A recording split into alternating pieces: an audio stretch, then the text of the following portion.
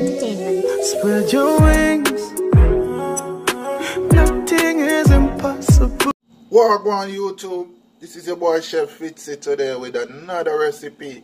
Remember I did the fricassee chicken and I said I have the part 2 to do with the brown stew chicken. So today I'm going to show you how to make your perfect brown stew chicken. As you can see, my chicken has been washed and cut up nicely. Washed with vinegar and ready to season. Alright, so stay tuned. I'm going to show you how to prepare your perfect brown stew chicken. Alright?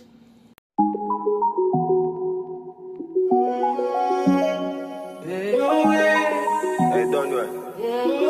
Static Entertainment. Spread your wings.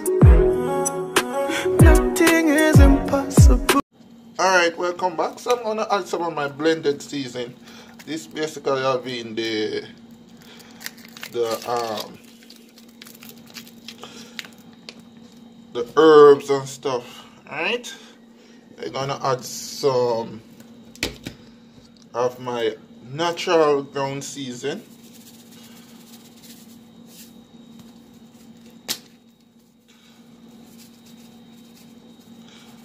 Good. That's about a spoon. We're gonna add some all-purpose.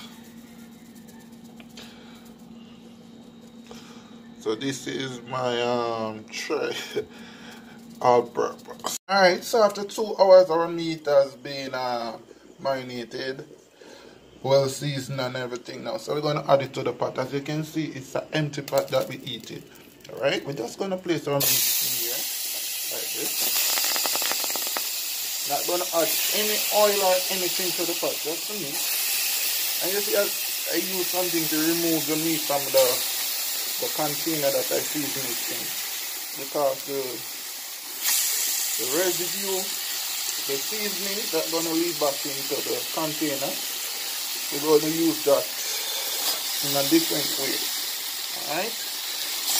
We do that. We just cover our pot like this and leave it for about two to three minutes then you can stir it so after a minute or two you can see we're going on with our chicken so now you see the reason why I didn't put any oil or anything in the pot you can see the amount of water and oil will come from the chicken yeah the reason why I'm doing this I like to give my chicken like a firmer taste. Some persons just add the water instant when they add the meat. No. When I do it like this, it gives me a firmer and a better taste. Alright? So now I'm gonna add the water. This is um, the bowl that we season the chicken. I just add um, a cup of water to it. So we're gonna add it to our meat nicely. Alright? So we're gonna leave that to cook down for about 15 to 20 minutes and then we're going to add our rest of um, seasoning to it. Alright, as you can closely see, um, our meat is come down to a boil. As you can see, we're reaping the benefit from putting your meat in the pot and let it kind of caramelize first before you add the water. As you can see, all your meat still brown and look good. Alright, we're going to add some vegetable to it. So over here we have some chopped Irish we have some um, white onion, we have some tomato, we have scallion, and also we have some thyme. We're going to add it to the pot.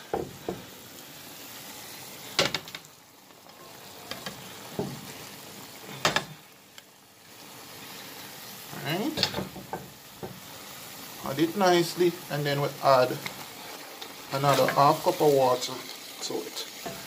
Alright, allow this to cook down for another 15 minutes another half cup of water to it. This time we're going in on low heat. Right? You want your meat to taste soft, tender, and nice. So this time we're going in on low heat. Alright? Alright, so now as you can see our brown stew started to come together. Look at it, look at how beautiful it is. Huh? Look at how beautiful. We're to add a little bit of soy sauce to it. Not a lot. About a spoon. And then we're to add our final ingredient, which is some Grace tomato ketchup. Alright? Oh, that amount. I remember cooking it on slow know, so we're going to leave that to boil down for about another five minutes. And then that should be our brown stew. Alright? As you can see the benefit of caramel kind of caramelize your chicken first as it, when you when you just put it in the pot. Alright? Your, your chicken is still brown. If you go straight in with all the season, all the water one time, it's gonna make your meat look white. So you're gonna have to add like browning back to it and all those things. Alright? But this is the right way that keep your meat brown and nice. Alright? Alright, take a look at it. Look at our brown stew chicken. Our brown stew chicken is ready and now. Yeah, as you can see. Look good. Alright, so let's share. Alright, there you have it guys. Our brown stew chicken served with some hammy dumpling and some green banana and also some sweet potato. Look at how gorgeous it is. Hmm? Yeah man, it's perfect way to prepare your brown stew chicken. Alright, you can eat it for breakfast, lunch or dinner. Anyway you choose. Alright? So I hope you enjoy my cooking show this morning. I hope you continue to subscribe to Chef Fitzroy on YouTube. Also follow me on Instagram, Fitzroy and on Facebook. Guys, this is a breakfast. I'm out.